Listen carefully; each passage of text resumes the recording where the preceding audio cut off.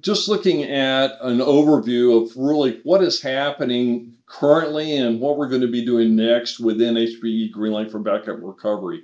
This is a roadmap, as you'll see over on the far left side. These are things that we have added uh, within HPE GreenLake backup and recovery, right? On-prem recovery with that console, filed and forward recovery, Microsoft Azure integration, so we can actually use Azure Blob. We are looking at enhanced application integrated protection. So example, Azure VMs and disks, Microsoft 365 support, enhanced granular recovery and bulk recovery, right? So we can look at a, recovery of a single file folder or disk across multiple recovery points. We can also do protection group recovery. So if you've lost your protection group, we can recover from that.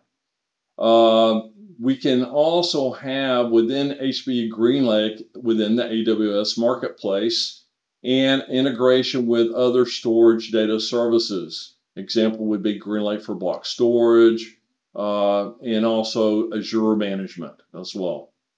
Uh, future is going to be uh, some time out, okay, so usually greater than six months, but integration with storage data services such as SimpliVity and HP GreenLake for file, as well as application protection, uh, SAP HANA, Oracle, uh, maybe cross-region backup for AWS RDS as an example.